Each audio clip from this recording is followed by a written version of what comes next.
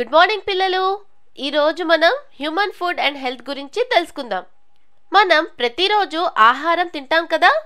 కానీ మన శరీరానికి ఆహారం ఎందుకు అవసరం? మీరు గమనించారా? ఆహారం మనకి చాలా అవసరం.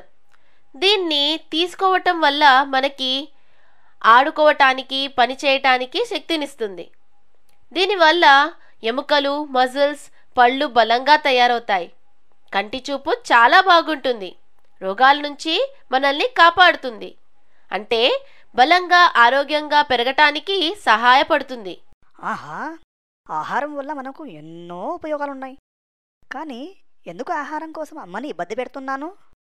పిల్లలు ఇప్పుడు మనం ఆహారం ఎలా వస్తుందో దాన్ని బట్టి ఆహారాన్ని విభజిద్దాం. కూరలు పళ్ళు పప్పులు లాంటివి మొక్కల నుంచి వస్తాయి. ఇంకా గుడ్లు మీట్ చేప పాలు లాంటివి జంతువుల నుంచి వస్తాయి.